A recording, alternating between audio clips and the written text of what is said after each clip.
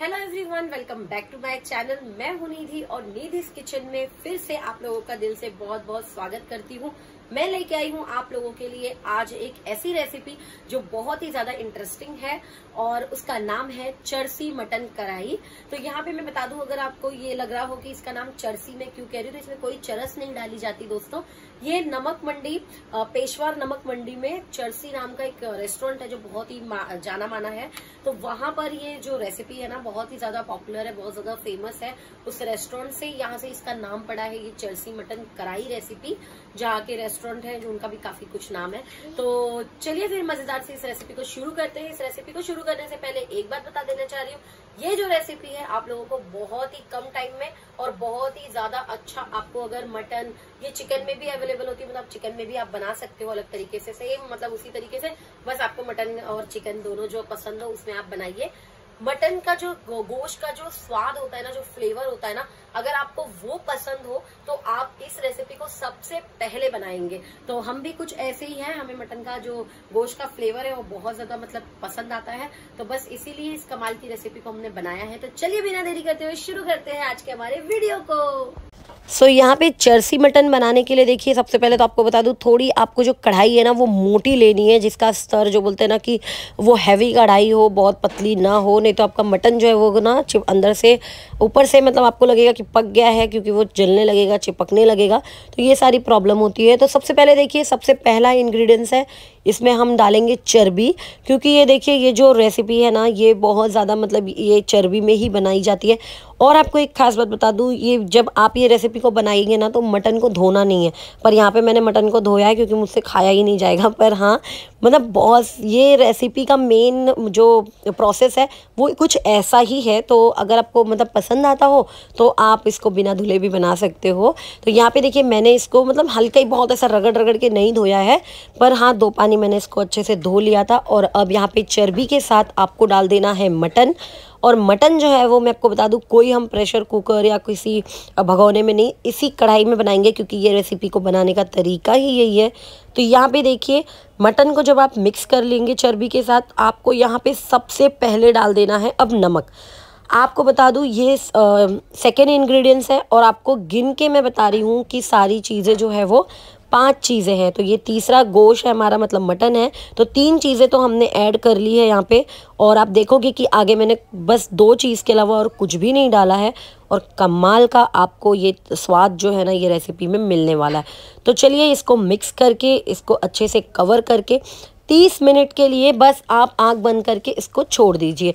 आपको इसको बार बार खोलना नहीं है, क्योंकि ढक्कन को अगर आप बार बार खोलेंगे तो जो इसका प्रेशर है ना, वो निकल जाएगा। और जो कि तीस मिनट में अच्छा प्रेशर बन जाएगा तो ये मटन को अच्छे से पकने में हेल्प करेगा। तो यहाँ पे इन बातों का ध्यान रखिए। यहाँ पे देखिए थर्टी मिनट बाद मैं कुछ उठा रही हूँ ढक्कन को तो यहाँ पे देखिए बहुत सारा मटन ने पानी छोड़ा हुआ है और अभी इसको कसर है पकने के लिए मतलब इसको हम छोड़ेंगे अभी पकने के लिए दोस्तों। तो यहाँ पे देखिए मैं अभी चेक करूँगी कि ये कितना परसेंट पका है। अभी ये हुआ नहीं है, पर हाँ एक बार आपको बीच बीच में चेक करना चाहिए, इससे आपको आगे उसको कितना पकाना है, ये आपको अंदाज़ा मिल जाएगा। तो यहाँ पे देखिए दोस्तों, मैंने इसको अच्छी तरीके से ना एक पलटे में एक पीस लेके देख लिया है। अभी ये काफ़ी कच्चा है। तो यू, जैसा कि मैंने आपको कहा, अगर आप बार बार इसका ढक्कन खोलेंगे तो इसका जो प्रेशर है वो पूरा निकल जाएगा और ये अपने वाफ में ही पकता है। तो इसीलिए इसको ढक ढक कर हमको पकाना है। तो यहाँ पे देखिए, और दस मिनट बाद मैंने इसको ओपन किया है। तो अब मैं देखिए, पानी जो है ना, क्योंकि हम इसको मीडियम फ्लेम पे पका रहे हैं, अगर आपको गैस की फ्लेम जो है, वो बटन जो अगर आपको दिख रही होगी तो वो मेरा जो गैस का बटन है, वो मीडियम फ्लेम पे ही मैंने रखा हुआ है।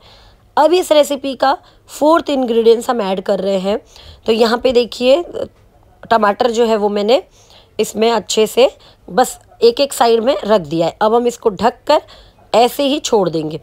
बहुत सारे लोग ये सोच रहे होंगे अपने मन में कि हम ये टमाटर को पीस के भी ऐड कर सकते हैं। दोस्तों देखिए, हर हर स्वाद का मज़ा है ना।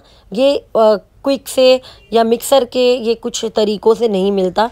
अगर आपको अच्छा स्वाद चाहिए, आपको एकदम परफेक्ट स्वाद चाहिए तो आपको सेम इसी तरीके से पकाना होगा। अगर आप ज़रा भी चिटिंग करोगे, फिर आप कहोगे कि नहीं, ये स्वाद नहीं आया, ये तो ऐसा हो गया, वैसा हो गया, नहीं। जो प्रोसेस है, उसी प्रोसेस से हमें पकाना है।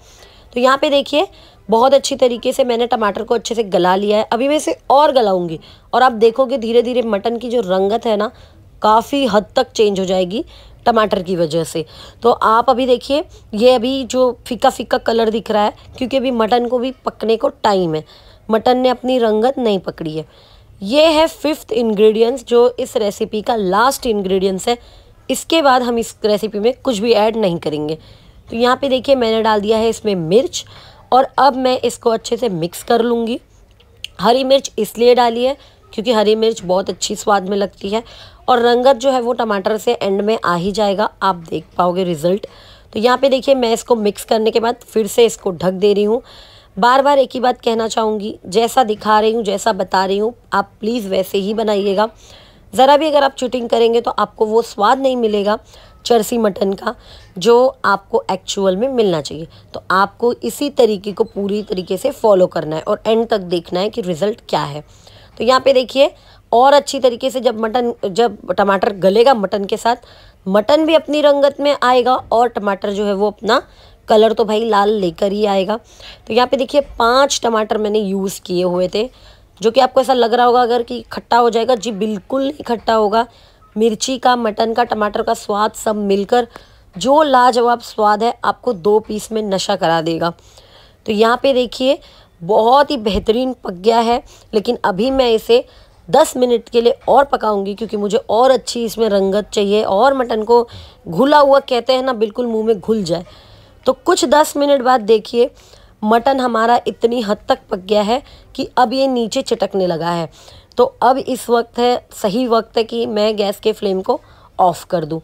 अगर दोस्तों आपको चाहिए तो आप इसमें हल्का सा एक पैकेट आप मसाला ऐड कर सकते हो। पर ज़रूरत नहीं पड़ेगी क्योंकि मटन का स्वाद अगर आपको लेना है तो आपको ऐसे ही पकाना है। बहुत ही बेहतरीन लग रहा है, देख पा रहे होगे आप। काफ़ी खूबसूरत देखने में लग रहा है। इस रेसिपी में सिर्फ़ और सिर्फ़ ज़्यादा से ज़्यादा पाँच चीज़ें पड़ती है, जिसमें एक खुद मटन भी है और आगे का जो इंग्रेडिएंट्स है वो मैं आपको बताती हूँ, जैसे कि आप देख ही रहे हो स्क्रीन पे। तो ये रेसिपी जो है वो बहुत ही कम चीज़ों में बनती है और बहुत ही कमाल की बनती है। तो आपको मेरी ये रेसिपी पसंद आ रही हो दोस्तों तो प्लीज़ चैनल को सब्सक्राइब ज़रूर से कर लीजिए। बहुत ही मज़ेदार वीडियो व्लॉग्स आपको देखने को मिलते रहते हैं चैनल पर तो देखा आपने कितना बेहतरीन लग रहा है। ऐसी ही मज़ेदार रेसिपीज़ दोस्तों मैं आप लोगों के लिए लेकर आती रहती हूँ। उम्मीद करती हूँ आपको मेरा ये वीडियो अच्छा लगा होगा दोस्तों। वीडियो अच्छा लगा होगा तो चैनल को बिना भूले चैनल को सपोर्ट करने के लिए चैनल को सब्सक्राइब करें वीडियो को शेयर करें, ज़्यादा से ज़्यादा लाइक करें। Bye bye